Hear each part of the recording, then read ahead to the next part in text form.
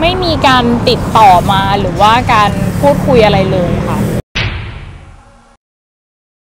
ไม่คาดหวังเลยว่าจะมาไหมเพราะว่าสองครั้งที่ผ่านมาก็ไม่ได้มา ถ้าเกิดว่าเขามีเจตนาที่จะขอโทษจริง ๆ อะไรเงี้ย มันก็ควรจะเป็นตั้งแต่คดีแรก ๆแล้วหรือว่าเรายังไม่ได้ทำอะไรกันอะไรเงี้ยนะคะ ก็ครั้งนี้เป็นครั้งที่สามนะคะ ที่ต้องมาเจอกัน แต่จริง ๆ แล้วเขาไม่ได้เคยจริงๆสองครั้งที่ผ่านมาเขาก็ไม่ได้มาเลย เมษายนนี้ครบปีค่ะ ไม่มีการติดต่อมาหรือว่าการพูดคุยอะไรเลยค่ะ เราไม่ได้รับโทรศัพท์หรือว่าการติดต่อจากทางทนายเขาหรือว่าทางเขาเองไม่เคยมีการติดต่ออะไรมาเลยทั้งสิ้นค่ะ ก็านนะคะ ถือว่านานอยู่ใช้เวลากันยาวนานมากอะไรเงี้ย เพราะว่าทางเขาได้มีการเลื่อนด้วย จริง ๆ จะเลื่อนออกไปนานกว่านี้ แต่ว่าทางเราก็ขอให้เร็วขึ้นนะคะ เพราะว่าคดีมันจะได้จบให้เร็วขึ้นอะไรเงี้ยใช่จริงๆเราถ้าคือสมมติว่าในครั้งนี้เขาไม่มาขั้นตอนต่อไปจะต้องเป็น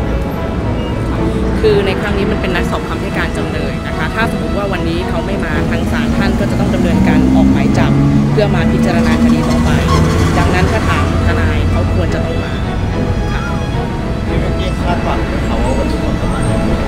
ไม่คาดหวังเลย ไม่คาดหวังเลยว่าจะมาไหมเพราะว่า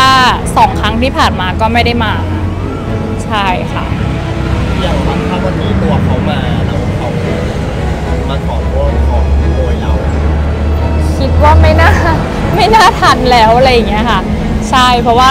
เรื่องมันนานมากแล้ว ถ้าเกิดว่าเขามีเจตนาที่จะขอโทษจริง ๆ อะไรอย่างเงี้ย มันก็ควรจะเป็นตั้งแต่คดีแรก ๆแล้วหรือว่าเรายังไม่ได้ทำอะไรกันอะไรอย่างเงี้ยนะคะ นี่เราใช้เวลากันยาวนานมาก แล้วเราก็ทางทนายมิวกี้ก็เต็มที่มากหาหลักฐานทุกอย่างอะไรอย่างเงี้ยค่ะใช่ซึ่งเวลามันผ่านมาค่อนข้างนานแล้วพอสมควรอะไรเงี้ยแล้วเราก็ไม่ได้รับการติดต่อ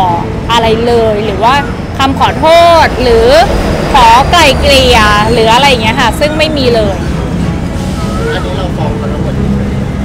เราฟ้องเขาเป็นข้อหารักทรัพย์ในจ้างนะคะ แล้วก็มีรักทรัพย์ในเวลากลางคืนด้วยเอ่อขออนุญาตตอบแค่ว่ามีการกระทำความผิดเนี่ยหลายครั้งนะคะส่วนเรื่องรายละเอียดว่าทั้งหมดกี่ครั้งเนี่ยยังขออนุญาตละไว้จนกว่าศาลจะมีคำพิพากษาแล้วกันค่ะแต่บอกได้ว่าหลายครั้งค่ะหลายครั้งมากๆ วันนี้ยังคาดหวังว่าจะได้เงินที่เราเสียไปไม่ไม่น่าไม่น่าได้อยู่แล้ว คิดว่าไม่ได้ค่ะคิดว่าไม่ได้ แต่ว่าไม่รู้ว่าจะมาในรูปแบบไหนใช่ค่ะ แต่ว่าไม่ไม่ได้ไม่ได้คิดแล้วเรื่องที่จะได้เงินคืนไม่ได้เงินคืนอยากให้เรื่องนี้มัน ก็อยากให้เอ่อเป็นไปตาม กฎหมายอะนะคะ ก็คนผิดก็ควรจะได้รับโทษตามที่สมควรจะได้รับอะไรอย่างเงี้ยค่ะ